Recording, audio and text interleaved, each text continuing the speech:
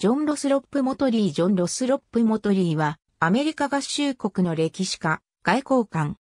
1814年4月15日、モトリーは、マサチューセッツ州ドーチェスターにおいて誕生した。モトリーは、ラウンドヒルスクールとボストンラテンスクールで学び、1831年にハーバード大学を卒業した。モトリーは、幼少時代は、マサチューセッツ州デダムで過ごし、現在のノーブルグリーノースクール近辺に居住していた。モトリーは、その後ハノーファー王国へ渡り、ゲッティンゲン大学で学んだ。モトリーは、オットー・フォン・ビスマルクと知り合い、続いて、ベルリンのフリードリヒビルヘルム大学で学んだ。モトリーは1834年にアメリカへ帰国し、その後も法律の勉強を継続した。1839年、モトリーは匿名で小説、 Morton's Hope, or the Memoirs of a Provincial を発表した。1841年、モトリーは外交官となり、ロシア帝国のサンクトペテルブルク公使館で書記官となったが、わずか3か月足らずで辞職した。モトリーはアメリカに帰国後、文筆生活に入った。様々な歴史論や評論をノースアメリカンレビュー誌に寄稿した。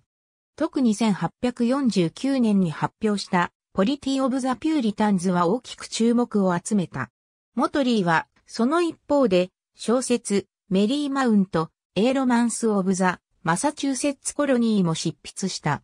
モトリーは1846年頃からオランダの歴史の研究を始め、特にネーデルラント連邦共和国時代について深く取り組んだ。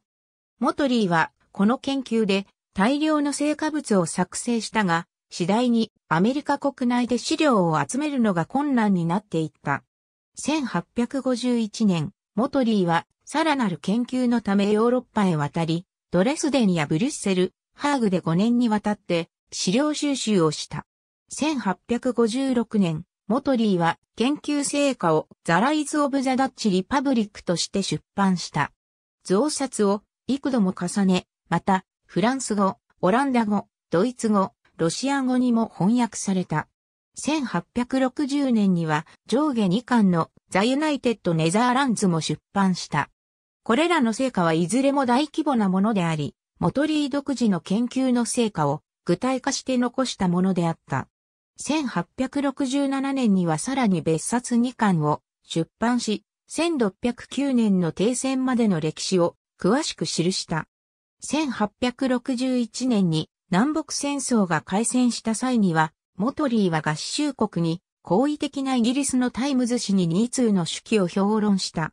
それらの評論は後に合衆国内で Causes of the Civil War in America と題されたパンフレットにより頒布され、リンカーン大統領に好印象を与えた。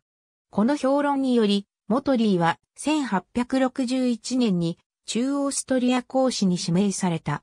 モトリーは1867年に辞任するまで6年にわたって講師を務め、職務を成功裏に務めた。モトリーは続いて1869年に中イギリス公使となったが、1870年末にグラント大統領により召喚された。その後モトリーはしばらくの間オランダに滞在し、続いてイングランドに移り住んだ。モトリーは1874年に2巻の伝記、ライフデス・オブ・ジョン・バーナベルドを発表した。モトリーは病により次第に執筆活動ができなくなり、1877年5月29日に、ドーセット州ドーチェスターで死去した。モトリーの遺体は、ロンドン市内のケンサルグリーン墓地に埋葬された。ジョン・ロスロップ・モトリーの父親は、トマス・モトリー、母親は、アン・ロスロップであった。モトリーは1837年に詩人パーク、ベンジャミンの娘メアリー・エリザベス・ベンジャミンと結婚した。二人の間には以下の子供が生まれた。